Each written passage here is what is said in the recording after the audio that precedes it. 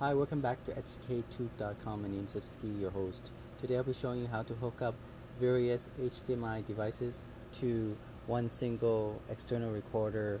Um, that's this one here. This is the Atomos Shogun 4K. Now it doesn't have to be Atomos, it could be any other external monitor recorder. This happened to be a 4K monitor recorder. There's also 1080p, which is a Ninja or the Blade. Really doesn't matter. The point is that it has an HDMI input. Okay. Now notice there's only one HDMI input here, and uh, if you want to hook up, say, a camera, uh, let's say a Sony a7S, which I'm, uh, I have right now, and you can just hook it up directly to that. So that's not a problem. Now what is a problem is that if you have, let's say, three devices you want to hook up almost at the same time, right? So imagine you have one camera here, another camera on the side, and you want a desktop computer to be hooked up to the same monitor for recording. So how would you do that? Well, it's a little bit trickier. However, there is a solution I'm showing you right now. The solution is getting a um, HDMI selector. I have a four-port HDMI um, selector. This is from uh, Rocketfish company. Uh, I got it used. It comes with a remote control, which is really neat um, for about uh, less than $40, okay? So what you want to do is, let me show you right now what looks like the device. Okay, let's get this out of the way. There we go.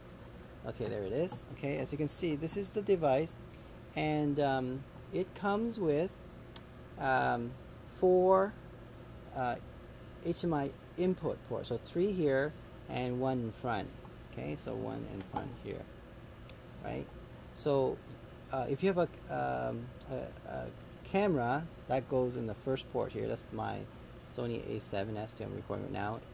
And then the second one is my computer desktop. So in case, for example, I want to show you a video, if I'm talking about something regarding uh, a video I saw, I can just uh, show you that. Okay.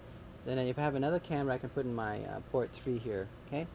And then if I have another computer, I can put in the port 4 as well. So very convenient. And here you can see this is the HDMI output. So one single one. It goes directly to the uh, um, monitor recorder. Okay. So it comes with a remote control. As you can see here, right now it's set to the camera. So it's in the HDMI port 2.